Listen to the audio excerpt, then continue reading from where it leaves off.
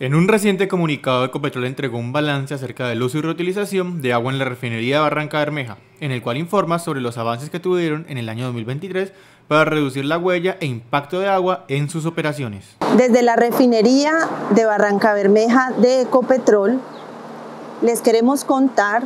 que durante el año 2023 logramos la recirculación de casi 7 mil galones por minuto de agua en nuestras operaciones. Esto equivale a llenar una piscina olímpica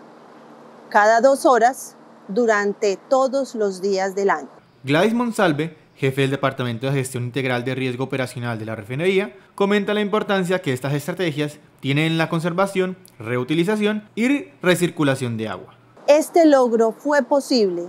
gracias al trabajo en equipo de los equipos operativos, técnicos, de mantenimiento y en general a todos los trabajadores de la refinería en la búsqueda permanente de las oportunidades de mejorar los procesos en cuanto al uso del recurso agua, de reducir el consumo en todas las oportunidades donde se presentan. Y tercero, de lograr la recirculación del agua fluente de la planta de tratamiento de aguas residuales de la refinería